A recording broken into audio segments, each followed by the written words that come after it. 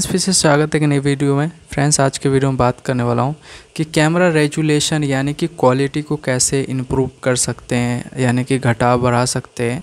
और इस पे आपका जो कि एमबी पे भी डिपेंड होता है कि कैसे कितने जीबी का आप फ़ाइल बनाना चाहते हैं या कितने एम का। तो इस वीडियो के अंदर यही से बात करने वाला हूँ, कैसे शूट करेंगे और रेजुलेशन कैसे कस्टमाइज करेंगे, इस वीडियो के अंदर यही से बात करने वाला हूँ। फ्रेंड्स, इस उंगली के ठीक नीचे आपको देखिए, वीडियो के नीचे आपको दिखेगा रेड कलर में सब्सक्राइब लिखा हुआ तो उसको क्लिक कर दीजिएगा। तो चलिए शुरू करते हैं। सबसे पहले आपको क्या करना होगा, आपको अपना कैमरा को ओपन करना होगा। चलिए मैं शुरू से बता देता हूँ। उसके बाद आपको यहाँ पे बहुत सारे ऑप्शंस देखने को मिलता है।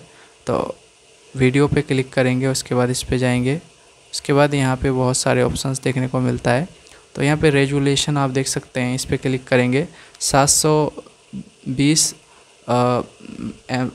ये दिखेगा पिक्सल्स दिखेगा, और यहाँ पे 1080 हज़ार अस्सी गुणे पिक्सल्स थर्टी पर फ्रेम रेट दिखेगा, ठीक है?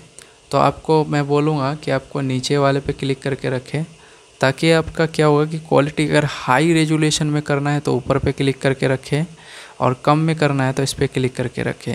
क्योंकि अगर ज़्यादा में करेंगे तो एमबी भी ज़्यादा लगेगा, कहीं भी भेजेंगे तो इसीलिए कम पे रखेंगे। इतना भी बेकार नहीं होता है।